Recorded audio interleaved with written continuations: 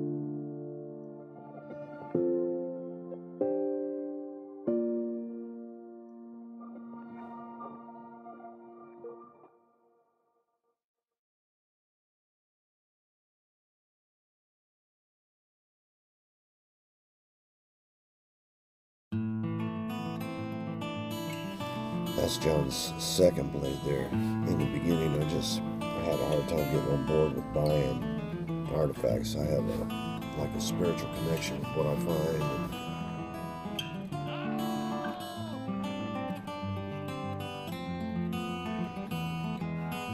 And he got the book, and I started reading it. the more we talked about it, the more I could see that you know I'm, I'm all about Indiana history to begin with, and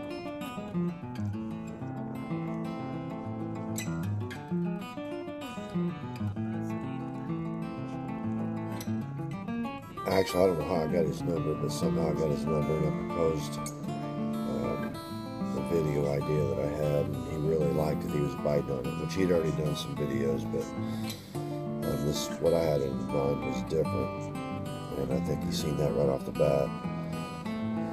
And uh, you know, I talked to him how you know these kids today yeah, they're not going to buy a book. I mean, everything's digital. They're all going to be on their phones. They're going to be so you know you want to approach this like you want to uh, you know go visual. You want to go with music. You want to go with it. There's a certain flow. There's a certain psychology to video. That's what I was kind of um, letting him know that you know with music and with flow and a certain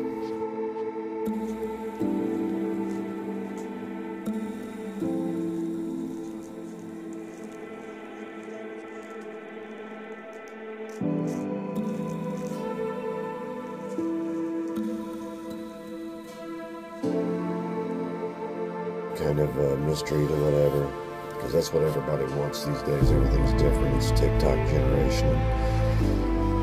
I mean, you still want to appeal to the older time of people, but you know, we're in the new times. Things are new, and our eyes move faster. We think faster. We process information, so you can tell a lot of story. You know, you can cram a lot of story into a small packet, so to speak. So.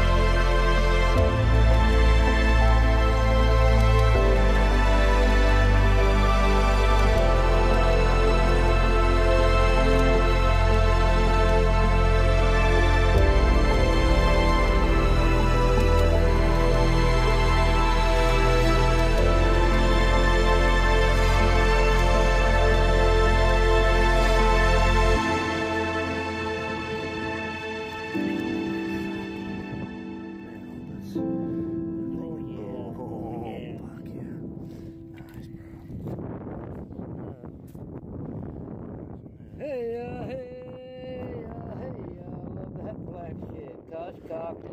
Yeah, make it, make it, make it. Got pretty flaking on top of it. Flat there, man. Wasn't here the last time we was here. Nope.